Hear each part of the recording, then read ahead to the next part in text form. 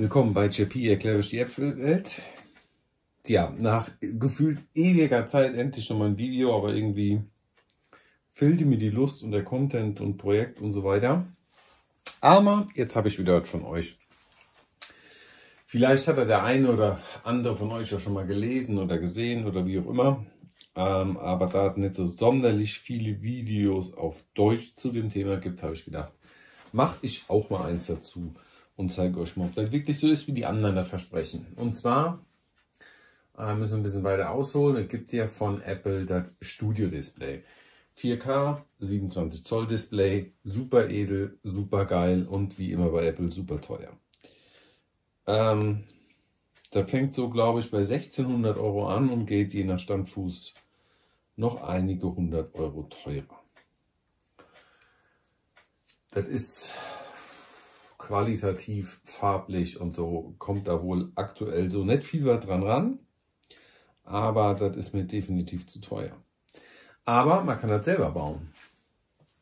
Und zwar ist das Interessante, wenn ihr so einen alten iMac 27 habt. Der ist jetzt aus 2014 bzw. 2015. Das müsst ihr euch natürlich immer bedenken. Ja, das ist ein äh, Mac, der schon 10 Jahre alt ist. Und auch das Display ist 10 Jahre alt.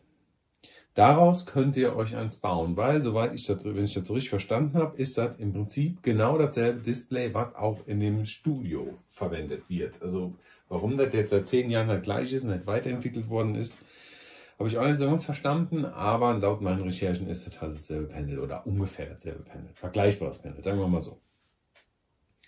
So, und in den 2014er, 2015er Macs sind halt die alten Intel Macs drin. Das ist ein ähm, Core 5 mit 3 oder 300 Gigahertz oder sowas.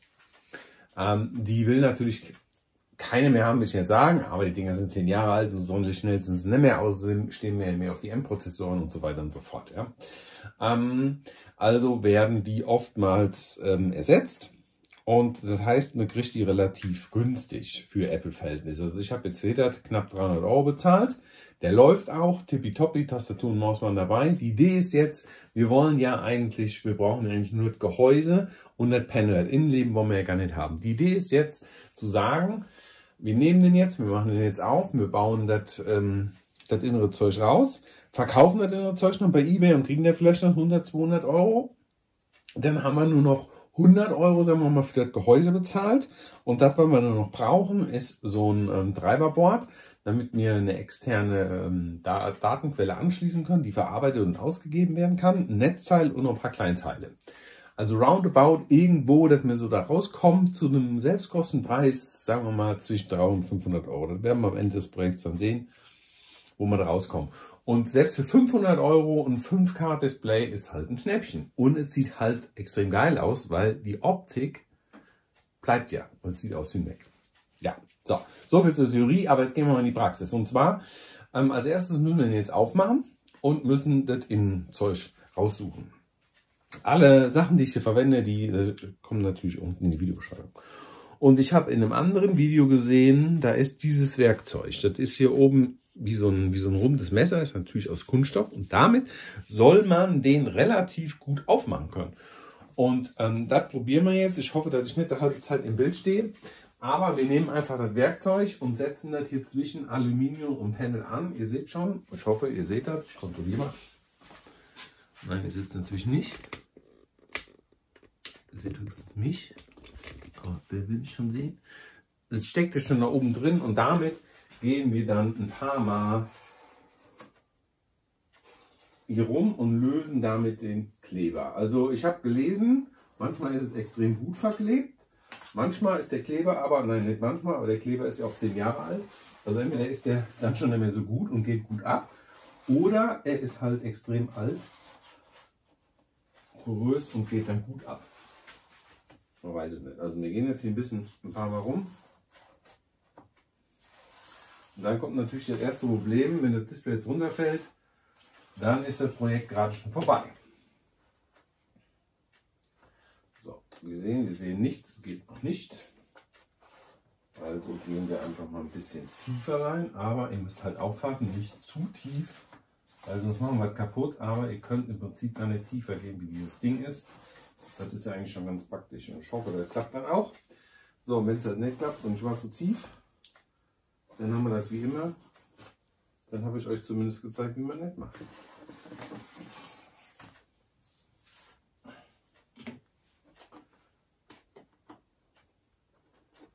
So, und ihr müsst aufpassen, also jetzt geht es hier schon ab. Ähm, ihr müsst halt auch aufpassen, gleich, ihr dürft das nicht, also ihr dürft das nicht fallen lassen, so weiter und so weil da sofort die Kabel kommen. Und die müssen wir ja abmachen, weil die Kabel brauchen wir noch. So, das klappt erstaunlich gut tatsächlich. So, und jetzt haben wir hier zwei Kabel dran. Wie ich das hier sehe, eins ist an Bord. Das müsste man abziehen können und das andere ist am Panel. So, ich versuche euch das jetzt mal näher zu zeigen. Also da ist ein Kabel und zwar hier das hier, das könnt ihr einfach nach oben wegziehen. Also an den Seiten, an den Seiten kann man noch so ein bisschen drücken, aber dann kann man das hochziehen. So, und hier, das ist ganz tricky, das sieht man auch ganz schlecht, aber hier ist wie so ein Bügel.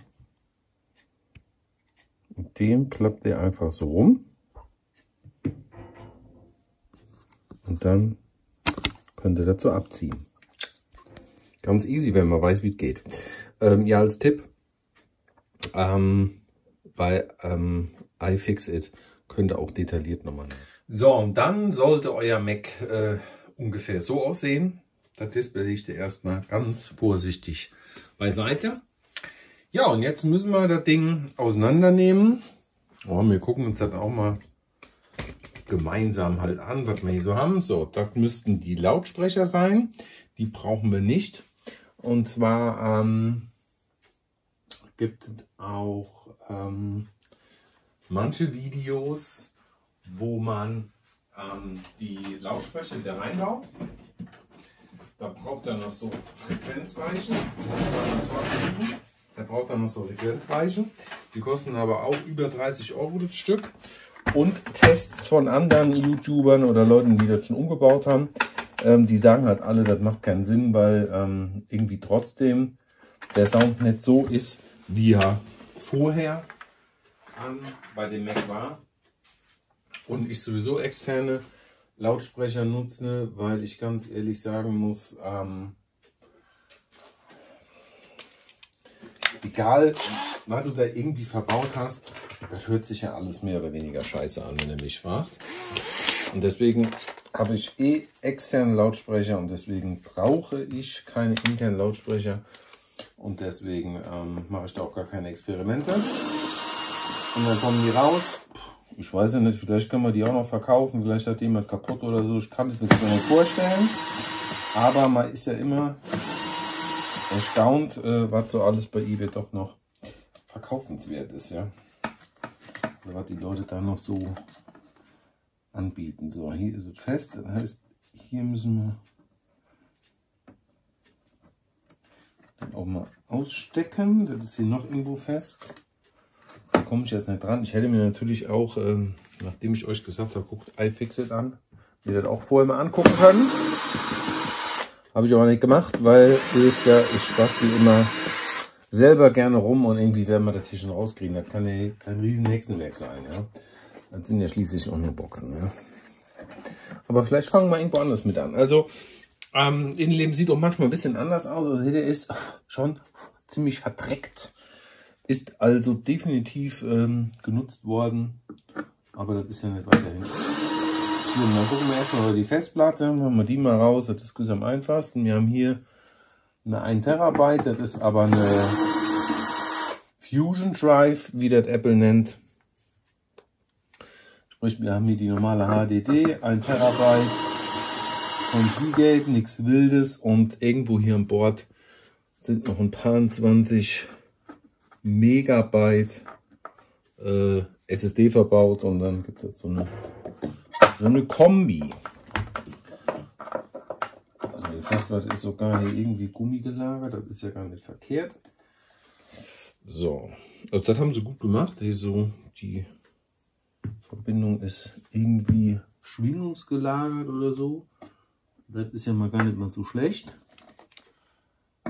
Ähm, was ich auch sofort schon sage, wo ihr auf alle Fälle aufpassen müsst, ist ähm, bei dem Netzteil. Also hier ist das Netzteil und das ist halt überhaupt nicht isoliert und da bleibt wohl immer noch Strom übrig. Also da müsst ihr tatsächlich aufpassen, weil die Gefahr eines Stromschlages wohl ähm, angabegemäß relativ hoch ist.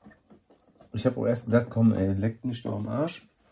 Aber ich habe da tatsächlich auf mehreren, in mehreren Videos gelesen und gehört, also muss da schon irgendwas dran sein. So, hier müsste das andere Kabel sein von dem Lautsprecher. Und dann sollte der ja irgendwie jetzt mal hier rauskommen.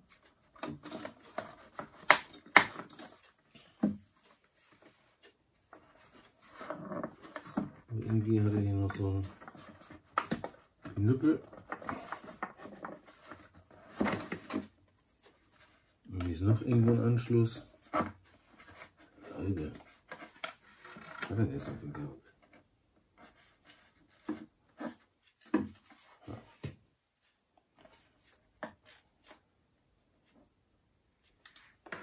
Weiß nicht, gucken wir gleich bei, aber hier mal die Lautsprecher. Und ihr seht schon, sind zwar zwei Stück, aber da kommt wohl trotzdem nicht so viel raus, aber das ist ja der Größe geschuldet.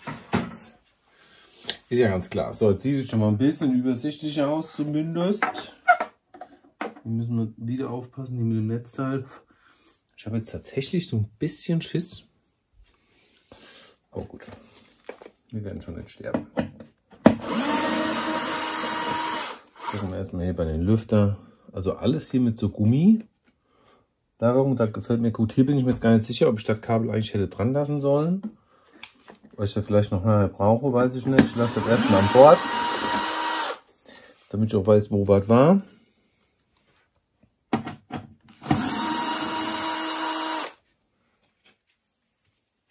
Also es kann natürlich tatsächlich sein, dass euer Mac vielleicht ein bisschen anders aussieht, wenn ihr dann ein anderes Modell habt oder so grundsätzlich seid ihr hier alles kein Hexenwerk. Wir sind ja nicht bei einem iPhone oder so. Also den Lüfter kann man auch ganz einfach abziehen. Ziemlich dreckig, aber sauber machen kann man den ja, wenn wir die verkaufen sollten und so. Alles gut. So, jetzt haben wir hier auch Kabel von der Festplatte. Das lassen wir aber noch drin, weil das kann ja an Bord bleiben. Das ist ja unkritisch. Jetzt gucken wir nochmal hier bei die Geschichte. Gucken wir, wo das Kabel hingeht.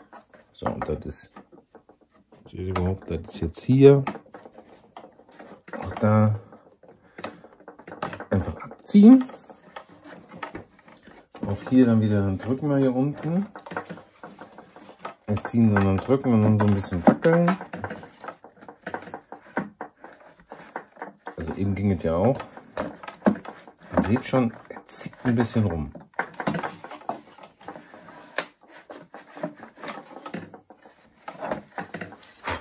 Und immer jede Menge Staub. Komisch, warum die eine Seite so easy und hier die nicht?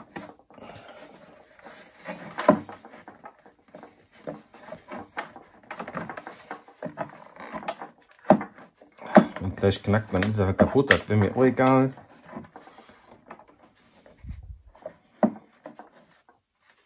Wie gesagt, ich gehe nicht davon aus, irgendjemand diese Lautsprecher kauft. So. so. Lautsprecher Nummer 2 ist auch raus. So, jetzt sieht doch schon relativ übersichtlich aus. Also die ganzen Klebereste, die restlichen, die müssen wir gleich auch mal abmachen. Aber das machen wir dann. Ähm, so, jetzt haben wir hier auch noch die eingebaute Kamera. Also das ist eigentlich ziemlich cool mit der Kamera. Ich will auch noch mal gucken. Aber das Problem ist, ähm, wir werden die wahrscheinlich nicht nutzen können, weil die hat hier so einen komischen Apple-spezifischen Anschluss, so ähnlich wie das Kabel hier. Ja, und das äh, wird wahrscheinlich, ah ne, nicht wahrscheinlich, ich habe Christian nicht angeschlossen, da bräuchte irgendwas USB-mäßiges, haben wir aber nicht. So, jetzt haben wir hier noch irgendwelche wilden Kabel. Das ist wahrscheinlich, sind wahrscheinlich WLAN-Antennen, schätze ich mal. Die müssen also auch ab. Beziehungsweise, ne, die müssen drauf. Äh, ne, die können ja, Quatsch. Die können drauf bleiben. Machen wir gleich, die müssten ja eigentlich dann, ich will mal überlegen, würden wir die jetzt mitverkaufen oder nicht? Eigentlich nicht, weil irgendjemand, der den Mac kaufen würde, hätte ja WLAN-Antennen. Also gehe ich mal stark von aus. Also ich mache es jetzt erstmal hier ab. Aber eigentlich müsste derjenige WLAN-Antennen haben. Ja. So. Ähm, weiter Schrauben ab. Wir nähern uns langsam der Gefahrenzone. Ist ein Kabel. Das machen wir auch mal ab, weil das ist auch irgendwas, was hier extra liegt. Ihr merkt schon, ich habe überhaupt keine Ahnung, was ich tue. Aber das Schöne ist, wenn ich da dran schaffe, dann schafft ihr das auf alle Fälle auch.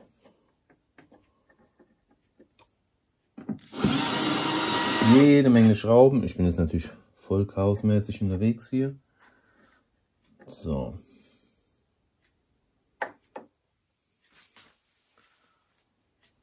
Das sind dann so richtig kleine Schrauben. Da muss ich gleich mal neuen Bit holen.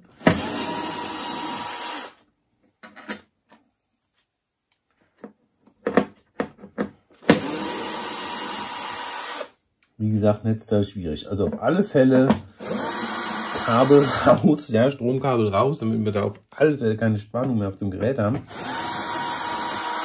Auf dem Netzteil haben. Und dann kann man den an- und aus noch finden, ein paar Mal an- und ausmachen. Das habe ich auch vorher gemacht, das habe ich euch nicht gezeigt. Ähm und das ist halt wohl auch ein bisschen schwierig, das abzukriegen. Der Anschluss ging schon von alleine ab, das war unkritisch. Und dann ist aber hier so ein komischer Anschluss. Und das macht man, glaube ich, besser, wenn das komplette Mainboard raus ist. Aber ich befürchte halt, dass es irgendwo hier noch fest ist. Außerdem müssen wir die Kamera abmachen. Das ist dann auch wieder hier so ein Bügelchen, schätze ich. Also das Video wird dann tatsächlich ein bisschen länger, wie ich eigentlich gedacht hatte, aber ich schätze, ich mache nur Kapitel da rein. Dann könnte er springen. Aber ich wollte es halt mal ausführlich machen, weil hinter zeigt euch irgendwie auch keiner in den Videos. So. So, ich habe gerade noch mal in die Anleitung geguckt bei iFixit und äh, zwar, Hitter war definitiv völlig falsch, aber das ist die äh, das ist der Monitorfuß. Also machen wir das mal wieder schnell fest. Mit den richtigen Schrauben natürlich, aber die müssten nicht gewesen sein, hoffe ich zumindest. Ist jetzt schon was verstellt. Ja, wahrscheinlich, genau, weil das ist ja der Monitorfuß. Aber das kriegen wir auch gefixt. So, also das machen wir wieder dran. Die macht ihr gar nicht ab. Aber wenn ihr meine Anleitung ja blöd gefolgt seid, ähm, dann haben wir das natürlich gemacht. Jetzt habe ich mir noch mein Bit verbrochen. Was eine billige Scheiße. So viel zum Thema billiges Werkzeug, ja. Wer ähm, billig kauft, kauft zweimal, hieß das früher immer. Das war nämlich auch gar keiner von meinem richtigen. Aber egal. So, ähm, was wir jetzt noch machen müssen, und zwar müssen wir das Kabel hier von der Festplatte, das müssen wir abziehen, weil hier oben sind noch zwei Schrauben, die müssen wir abmachen. Ich muss jetzt nur irgendwie mal neue Tracks suchen oder wir machen es mit der Hand. Dann machen wir das mit der Hand. Da muss ich ja nur zu helfen wissen. Das ist ja nicht so, als ob wir hier keine Schraubenzieher hätten hier in dem Haushalt. Wir halt mit der Hand, ist eh besser. So, eine Schraube oben. Zweite Schraube oben. Damit wir auch selber drauf kommen können. Dann machen wir erst die hier von der Monitorhalterung wieder fest.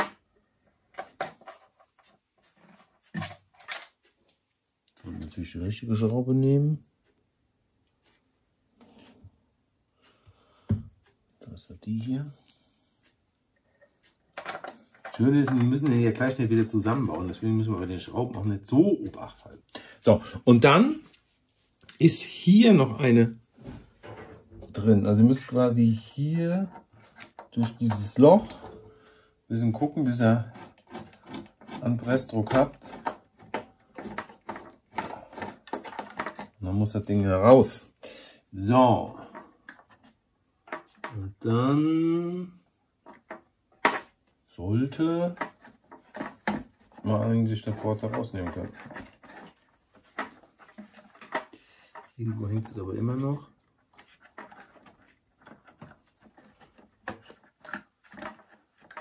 Sack und Waschen, ey. Aber es ist jetzt schon so gut wie ab.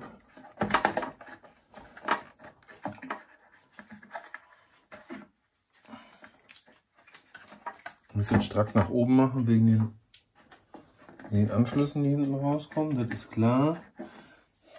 Also hier ist auch noch äh, so eine Leiste hinter quasi, die das so ein bisschen schützt. Die ist hier mit so ganz vielen kleinen Schräubchen fest. Also ein Fixit sagt, äh, man müsse die abmachen. Ich wollte das aber eigentlich ohne machen. Aber irgendwo hängt es hier noch. Kann ich noch mal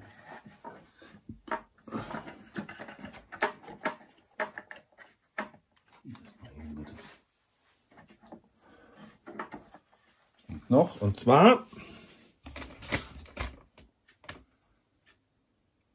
dieses Teil da unten. Dieser Stift muss auch noch weg. Den kann man mit einem großen Torx aufmachen, den ich jetzt natürlich wieder nicht habe.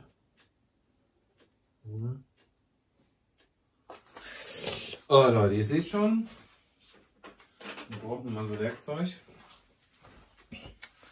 Aber man muss sich ja bei so Projekten immer ein bisschen Zeit nehmen. Also müsste hier ein, wir probieren mal einen 20er Torx. Ah. Also, 20er Torx. Dann können wir das Ding da rausschrauben. Und dann geht so raus. Und zwar einwandfrei. So, und jetzt gucken wir uns das schöne Ding mal von der Rückseite an. Also hier, ich habe jetzt tatsächlich die RAM-Bänke komplett voll. So, hier seht ihr die, die Anschlüsse, die hinten halt rauskommen normalerweise. Und hier ist die kleine SSD. Da wäre natürlich auch die Frage, die kann man bestimmt auch austauschen. Da könnte man einfach eine fette SSD reinmachen. Naja. Wir wollen das Ding ja nicht mehr laufen kriegen. Also alles ziemlich staubig. Aber das machen wir dann irgendwann mal. Ähm ich muss das gerade mal hier wegpacken. Wie gesagt, wir wollen den Teil ja verkaufen, deswegen müssen wir ein bisschen vorsichtig damit sein. So, das sieht doch jetzt schon sehr fein aus. Jetzt gucken wir mal, was noch raus muss, kann, darf. So, hier, das ist das Kabel von der Stromversorgung. Da ist noch eine Erdung. Dann ist hier irgendwas von den Boxen. Das ist uns aber egal, das lassen wir einfach mal hier drin. Und die Sachen hier lassen wir auch da drin. Das brauchen wir ja alles nicht mehr. Die WLAN-Kabel, die können wir auch dran lassen. Ähm, ja, die Kamera, die kann man im Prinzip auch drin lassen. Ja, was, was tun wir noch damit? Ja, hier, das machen wir jetzt noch hier ab. Da brauchen wir wieder den 20er Torx, habe ich eben gesagt. Und dann haben wir auch die Festplattenhalterung daraus. Also muss er sagen, die haben sich echt Gedanken gemacht bei Apple. Wie immer. Die können wir vielleicht auch noch extra verkaufen. Schauen wir mal. So, und jetzt haben wir im Prinzip schon das gemacht, was ich wollte. Und zwar haben wir das Ding einmal ausgeräumt. So, die, also es gibt jetzt tatsächlich viele verschiedene Sachen, ja. Ähm, die ich jetzt im Laufe des Umbaus entscheiden werde, ob ich das mache oder ob ich das nicht mache.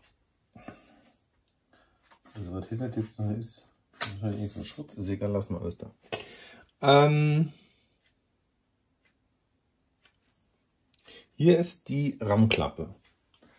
Also ihr konntet ja auch, habt ihr gesehen, die waren ja voll und diese Rammplätze, die waren quasi von hinten zugänglich. Und genau durch diese Rammklappe werden wir nachher die ganzen Kabel verlegen. Ja, also die drücken wir einfach raus. Ich bin mir noch nicht sicher, ob wir die vielleicht hier noch bohren, weil wir wahrscheinlich nicht die gesamte Öffnung brauchen. Da werde ich aber auch im Rahmen des Projekts dann irgendwie entscheiden, wie ich das mache. Ähm und dann schauen wir mal, wie sich das jetzt dann so entwickeln wird. Ähm ich habe auch alternativ, also 3D-Druck kommt ja auch immer zum Tragen. Alternativ habe ich mir schon hier so eine Klappe gedruckt in Grau, die quasi hier hinter passen sollte. Sie kommt dann hier so hin und dann haben wir da schon ein Loch. Ich hoffe, die passt auch.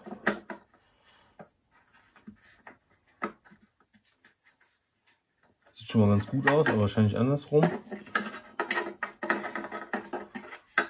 Ich denke mal, der Autor hat gedacht, seht ihr überhaupt? Autor hat gedacht, äh, wir machen die hier unten fest, da wo die das Ding von dem Strom ist. Ich nicht. Aber wenn man das hier so buddeln kann, ist das glaube ich sogar äh, ein bisschen schöner. Ja. Genau.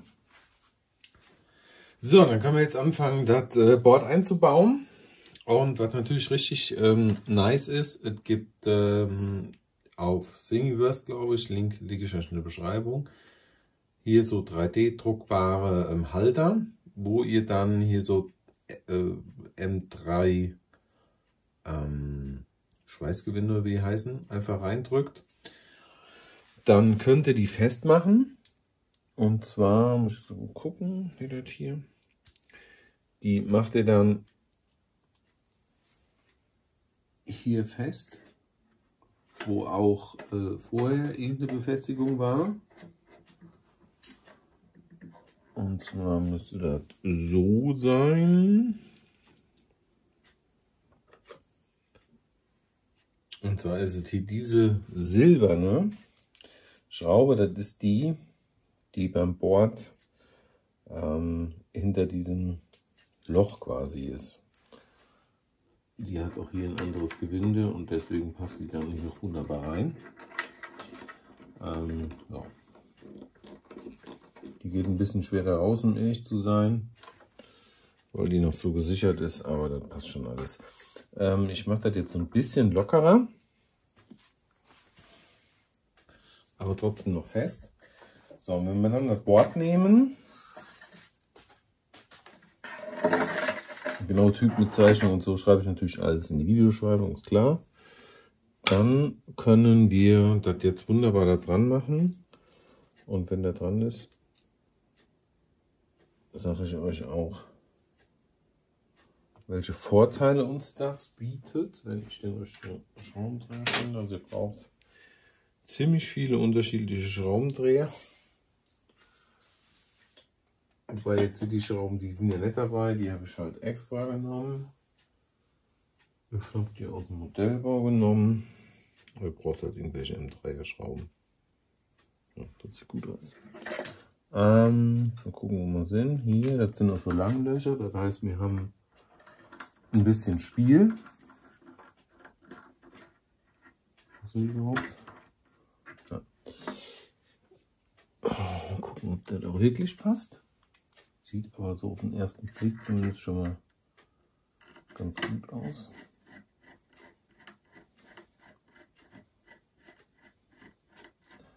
Sollten natürlich nicht so breite Koffer haben, damit wir keinen Kurzschluss kriegen oder so irgendwas.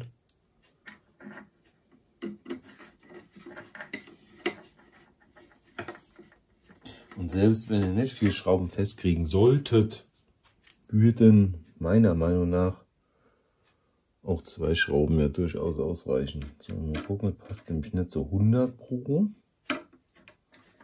Aber wir haben ja immer eine gewisse Toleranz da drin.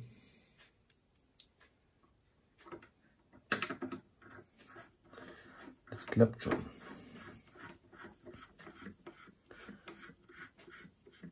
So.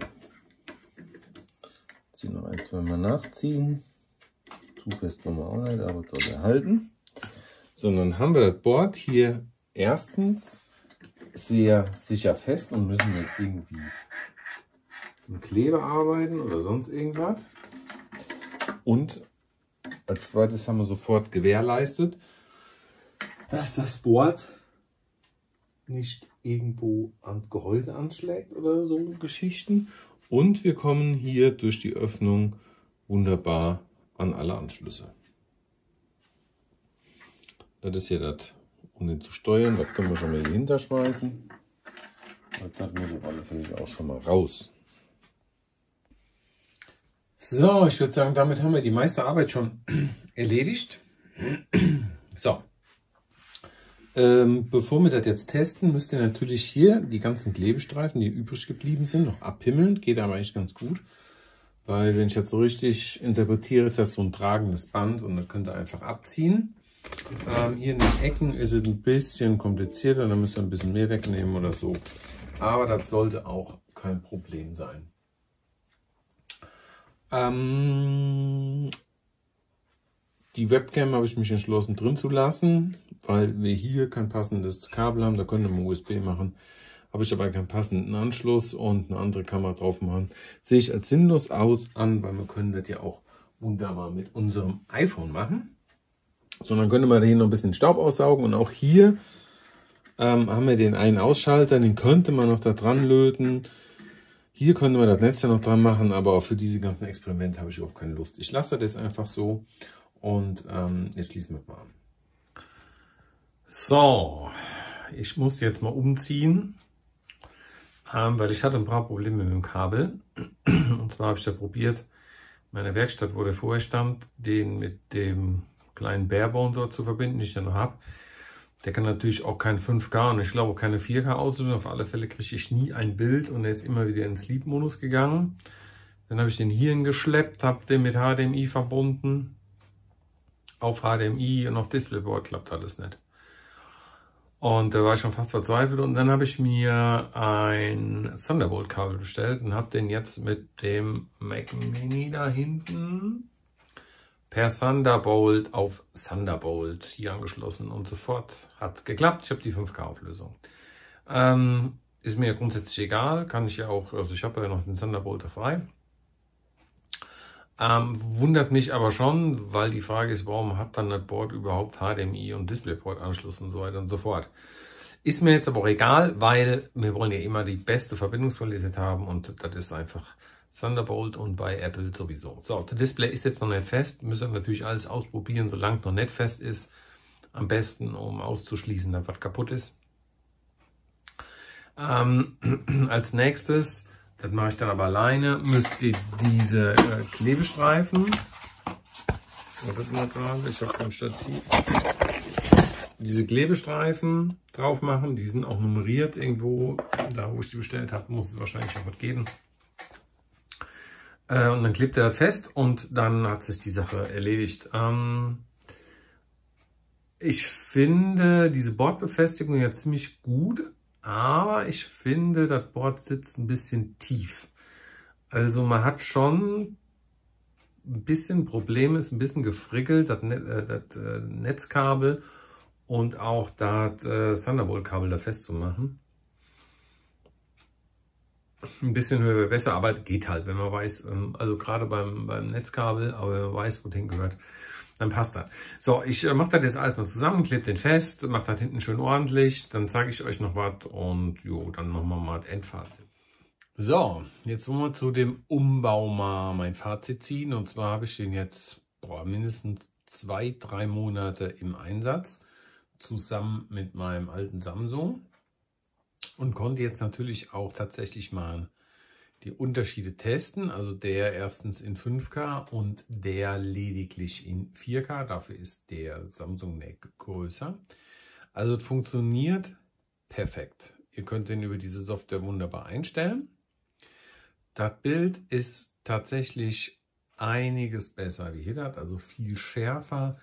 Die Farben kommen viel besser rüber. Ich würde euch das hier gerne zeigen. Ähm, aber Handy wird das wahrscheinlich nichts bringen. Ähm, weil man kann ja hier diesen Hintergrund bei dem gleich machen, da ist jetzt gerade Final Cut auf, aber ist ja wurscht. Ähm, also die Farben sind wirklich besser und ich gucke tatsächlich lieber auf dem Apple-Display, ja, muss man wirklich sagen. Allerdings, also das Einzige, was ich jetzt anders machen würde, ist, ich habe erst gesagt, man muss den nicht beschweren oder so, weil der Board raus ist oder weil der eigentliche Mac raus ist. Manche haben ja Steine da reingeklebt und so. Das funktioniert trotzdem. Ja, das funktioniert auch trotzdem. Aber der neigt dazu, sich zurückzustellen. Also das muss man definitiv sagen. Ihr seht das nämlich jetzt auch, ich kann euch das zeigen. In der Ecke, da kommt er nämlich dann immer gegen. Ja, also das ist tatsächlich nicht so gut. Deswegen, wenn ihr das macht und hoffentlich das Video einmal komplett fertig geschaut habt, bevor ihr anguckt, beschwert das. Ich würde aber jetzt keine Steine oder sowas reinkleben. Ich würde einfach so Bleigewichte reinkleben, die ihr zum Beispiel auch zum Auswuchten von euren Felgen nehmt. Oder ihr geht zu einem Dachdecker, der hat so Walzblech, das könnt ihr dann mit doppelseitigem Klebeband da reinkleben oder so. Ähm, ja, ich muss allerdings sagen, im Gegensatz zu vielen anderen, das mit den Komponenten verkaufen, die ihr daraus gebaut habt, das funktioniert nicht so gut, zumindest nicht bei mir.